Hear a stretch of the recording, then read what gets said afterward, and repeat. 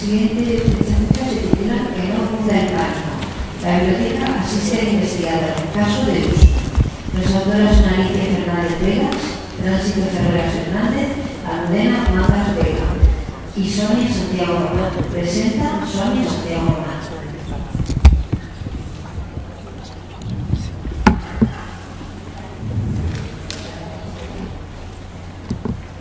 Buenos días, voy a presentar un caso de uso ocurrido en la Universidad de Salamanca a uno de nuestros investigadores y como el Servicio de Bibliotecas de la Universidad pues dio solución y respuesta a, este, estas interrogantes.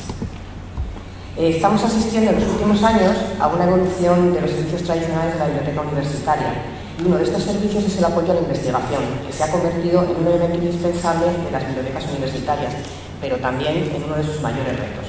Que no cunda el pánico, la biblioteca asiste al investigador. La labor de las bibliotecas universitarias en este aspecto ha sido indudable. Se han conseguido grandes resultados, incluso en casos excepcionales como en la pandemia COVID-19.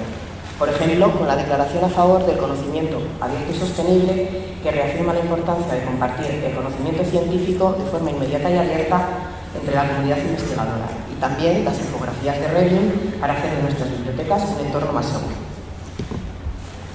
Las evaluaciones y convocatorias por las que pasan los investigadores se asientan sobre numerosos y muy diferentes recursos e indicadores.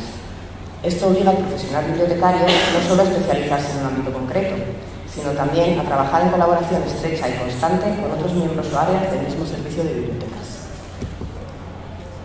El caso de uso que se presenta, tomado de la experiencia de la Universidad de Salamanca, es una muestra de cómo una consulta sobre las citas de un trabajo de investigación pone en marcha toda una maquinaria interna que engloba a diferentes áreas del servicio de bibliotecas, diferentes metodologías y distintos recursos y abordajes hacia la solución del problema. El recorrido comienza cuando un investigador acude al servicio de bibliotecas porque detecta que uno de sus trabajos no aparece recogido en Google Académico. El investigador sabe que ese trabajo ha recibido varias citas, pero está perdiendo visibilidad e impacto porque él no sabe cómo solucionar este problema. Los servicios bibliotecarios de la universidad de apoyo a la investigación se hacen cargo de la recepción de la consulta y comienza el recorrido para dar una solución. Están implicados en este camino el repositorio institucional Gredos, el grupo Dialnet USAL y el portal de la investigación de la Universidad de Salamanca, que trabajarán coordinadamente en analizar las dimensiones del problema, tanto en visibilidad como en impacto. En primer lugar, se analiza el documento y todos los elementos que pueden interferir en el problema. Se detecta que es un artículo de revista del área de ciencias sociales, jurídicas y humanidades, y que el investigador es el único autor. Y una cuestión clave es que el formato de las referencias bibliográficas es a pie de página, práctica habitual en este área que dificulta la difusión y consecuente visibilidad del documento.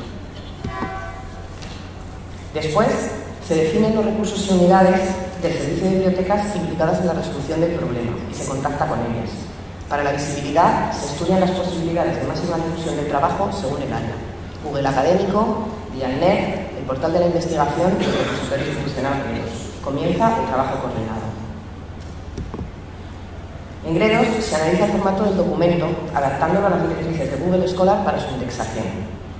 Que el texto completo del trabajo esté en un archivo PDF que termina con .pdf. Que el título del artículo aparezca en letra grande en la parte superior de la primera página. Los autores deben se enumeran debajo del, título en una línea aparte y que haya una sección, de, bibliografía titulada, por ejemplo, Referencias o Bibliografía al final del artículo. Se detecta que el documento no tiene la página de bibliografía, así que se contacta con el usuario para avisarle de que hay que modificarlo antes de subirlo al repositorio y añadir la página de referencias en un formato válido para Google académico que pueda ser indexado por este. Se incluyen estas referencias, se revisa el perfil completo del autor y se sube el documento al repositorio. Una vez subido al repositorio, el grupo de IANET USAL revisa si el trabajo está en la base de datos de IANET. Como la respuesta es negativa, se comprueba si la revista ya está siendo vaciada en IANET. La respuesta, en este caso, es positiva. La revista sí aparece, pero el artículo, al ser antiguo, no lo podemos encontrar. Hay que vaciarlo e incluir los datos y referencias recibidos desde otras unidades. Hecho el vaciado en Dialnet, en el portal de la investigación se comprueba si el trabajo se ha importado correctamente. La respuesta es positiva. Se revisan también el perfil e indicadores del autor y se subsanan los errores que puedan aparecer. El artículo difundido de forma adecuada en el portal en Gredos y Internet aumenta su visibilidad y posible impacto y potencia la visibilidad de los resultados de la investigación desarrollada en nuestra institución. Solucionado el tema de la visibilidad del artículo, pasamos a ocuparnos del impacto y las métricas. Este trabajo suele ser manual y bastante específico. En primer lugar, se revisan los trabajos donde el investigador nos ha indicado que se encuentran sus citas y en algunos casos se confirma que son a pie de página. Por eso no se recogen en ningún sistema de forma automatizada. Las citas provienen del mismo campo de conocimiento. Se analizan las referencias de los documentos y se comprueba que algunos de los autores son de la propia institución.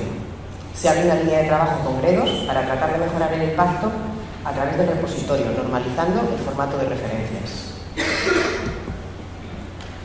Se contacta con los autores de esos documentos para solicitar su permiso para modificarlos y añadir la página de referencias. De esta forma, Google Académico recogerá la cita del documento de la consulta inicial. Cuando se contacta con los investigadores, se tiene un especial cuidado en explicar muy bien los pasos que se van a dar y el motivo. De esta forma, se genera cultura de visibilidad e impacto para que los propios investigadores puedan aprovechar al máximo los recursos. En el portal de la investigación también se revisan los artículos que son de autores de la, institución y se añaden las referencias, cuidando de que cumplan todos los requisitos de elegibilidad para que puedan ser recogidas desde otros recursos. Esto implica un pequeño esfuerzo adicional, pero redundará en un gran ahorro de trabajo posterior. De nuevo en DIANET se analizan los trabajos sobre los que se ha recibido el aviso y en el caso de los artículos se añaden las referencias en el campo correspondiente siempre que sea posible. De esta forma, DIANET también recogerá esas citas y el impacto. Como hemos visto, es necesaria la coordinación y puesta en común de conocimientos y experiencias. Solo así vamos a potenciar el uso de servicios de la biblioteca, como el asesoramiento a los investigadores sobre publicación, métricas, visibilidad y derechos de autor. De esta forma, además, apoyamos el liderazgo de las bibliotecas en ciencia abierta y otros objetivos de desarrollo sostenible. Muchas gracias.